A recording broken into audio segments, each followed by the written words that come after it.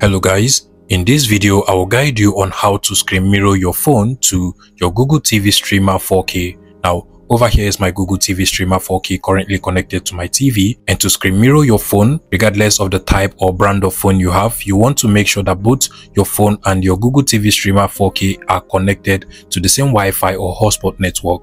So on your Google TV Streamer device you want to just navigate to the Wi-Fi settings usually at the top come over to Wi-Fi and make sure you're connected to your Wi-Fi network. And then on your phone, you want to also make sure you're connected to that same Wi-Fi or hotspot network. If you swipe down to the notification center and then to the Wi-Fi settings of my phone, I am actually connected to the same Wi-Fi. Now, the last thing you want to do on your phone is to head over to the Google Play Store and then you want to go ahead and make sure you download and install the Google Home app into your phone. So from the search bar, you want to go ahead and search for Google Home and then make sure you download and install this Google Home app over here into your phone.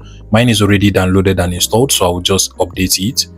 Now, once you have the app, you can go ahead and open it up and the setup process for this app is quite simple. Just follow the on-screen instruction and you should be good to go once you're done setting it up this is actually how it looks like. But basically you want to come over to the devices tab over here at the bottom select that and you should be able to find all of the devices that are currently on the same wi-fi or hotspot network as your phone. If i scroll down you can literally see my google tv streamer device. So i'll just select it just like so. And then to cast or screen mirror my phone to my google tv streamer 4k i'll just click on the cast my screen option over here and then click on cast screen just like so. Now, before you click on start casting, come over to the scope option. So select scope and then make sure you select entire screen instead of a single app.